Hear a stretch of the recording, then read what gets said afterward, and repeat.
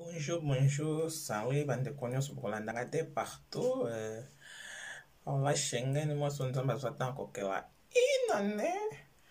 toza kaka na actualité moko tozolobela ndeko na biso papa na biso pasteur na biso na kombo ya mukuna je pense que bato nyonso bazomona bavideo ndenge ezotambola ndenge ezocircule bafoto meme ti na facebook koloba te alors shengen aza wana kaka mpona kopesa conseil mpona kobeta sete na bandeko oyo bazotambola na ndenge ya mabe selo babengami bapaster babenga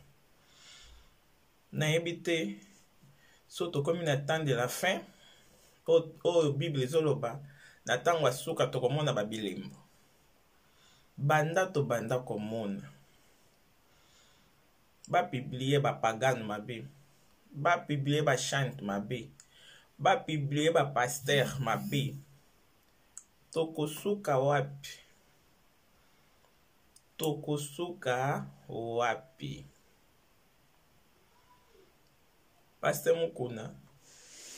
nga naza na bavideo ekweyela nga na whatsapp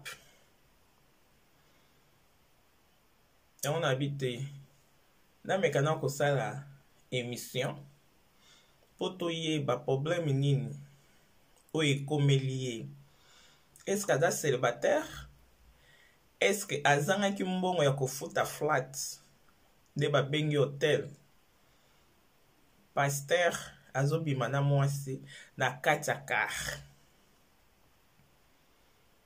oyo tomonaka alobelaka makambo ebele ya mboka oyo tomonaka alobelaka sur parole de dieu liloba ya nzambe bible atangaka aza meme na bandimi ebele oyo bandimelaka ye na place bandimela nzambe bango siko bandimelaka motu oyo lelo akufi akomi na ye mpe poussière bankusu balie me bandimi nde bandimelaka ye nga natali video wana eza vraiment elongi ya paster mokuna eza montage te bandeko na ngai video basala yango montage te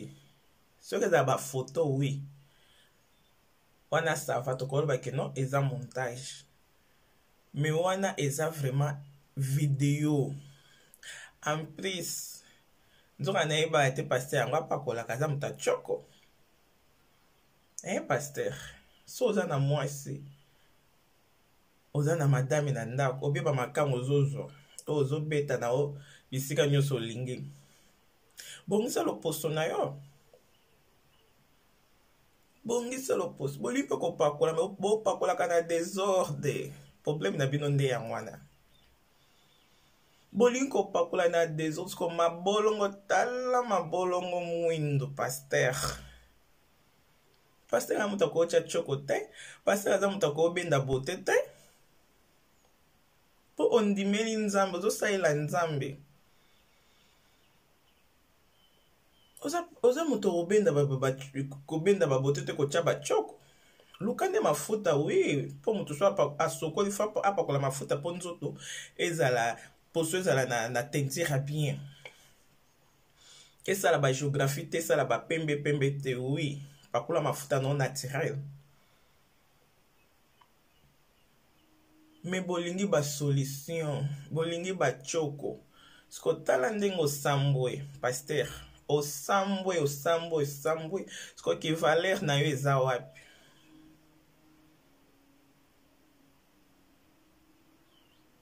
Valeur eza wapi?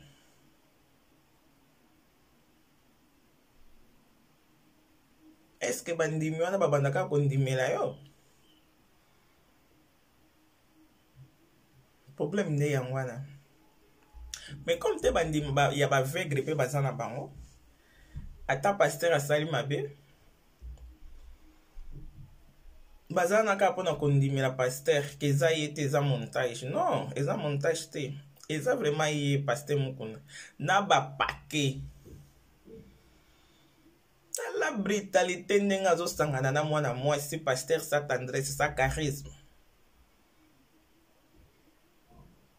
na brutalité nyonso comme te nzoto na eza vraiment ya bampake ndenge emonana deja na brutalité ntina likolo ya, ya, ya, ya, ya, ya bakiti ya kati ya voiture parce que bosangani bosali relation na bino rapport sexuel na bino bosala na kati ya voiture na kati ya kar paster abukani alembi amitiki ti bazwi yo baimage parce que okomi deja na soka nzambe azolakisa bilembo koza faux paster oza paster ozosalela nzambe na bosolo te comment soit disant que oza pasteur oz, oza na mwasi oza na, na madami na ndako me ozolinga lisusu bamakango libanda bamakango yango mpe futa ata flat hotel moko ya bien me na kati ya kar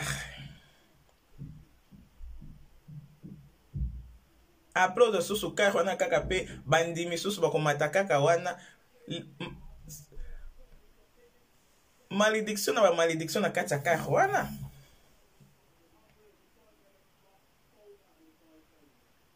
Eh, omona susu omemi susu bandimi bapaster mpe bakomataka na kati ya kar wana bandimi mpe bakomataka na kati ya kar wana yango wana bandeko na nga vomata na kaka paster bondela nano avovanda wana osali nano priere avokota ovanda na kati ya bakiti na bango wana oyo balaelaka basi po terme eza yango wana mpo ngai naza na moto ya verite oyo basanganaka balalaka na basi mpo alali mwasi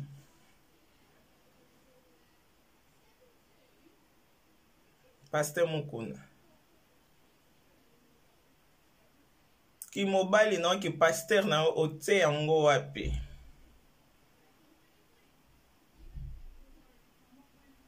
Otie ki pasteur na yo wapi? Obimi na posa. facebook eza ya koyinda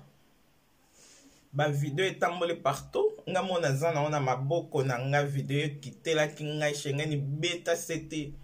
parceke oza moto ya media oza mwasi oyo ntango ozoloba tout le monde est d'accord oza mwasi obimisaka babetise to yo kolobaka pangala pangala mpo oyo kozwa soko balipa ya mikie mike nde bamisusu bayaka na na bamipolitex mpo azwa mwa lipa alia azwa atya mwa tioko amonaka aza danse te shenge nazalaka pose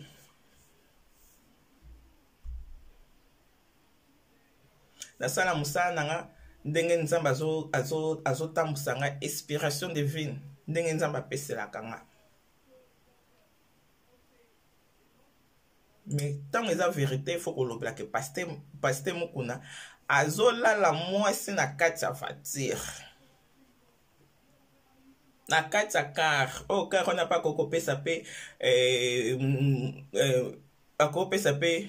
eh, mondimo moko mpe ta mosusu nde tobengaka lift obie pasteur moko boye opesi ye lift omema yo otika ye na destin moko boye kar wana bakiti wana eza deja na basolo ya sperme eza deja na basolo ya sperme na kati ya kar na kati ya bakiti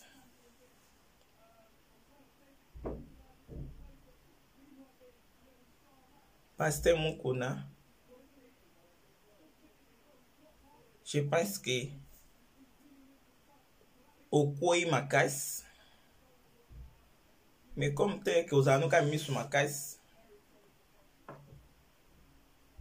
so mpe eza montage mais je, je crois pas que eza montage yo moyebeli oyo nini osali mpo na miniti oyo oza ya kosambwa eza yo eza montage te un grand merci na bato nyonso bakolanda émission ya paola shengani mwasi oyo nzambe azwa ntango kokela inane sabone commente eh, merci bino nyonso nalingi bino mingi babaye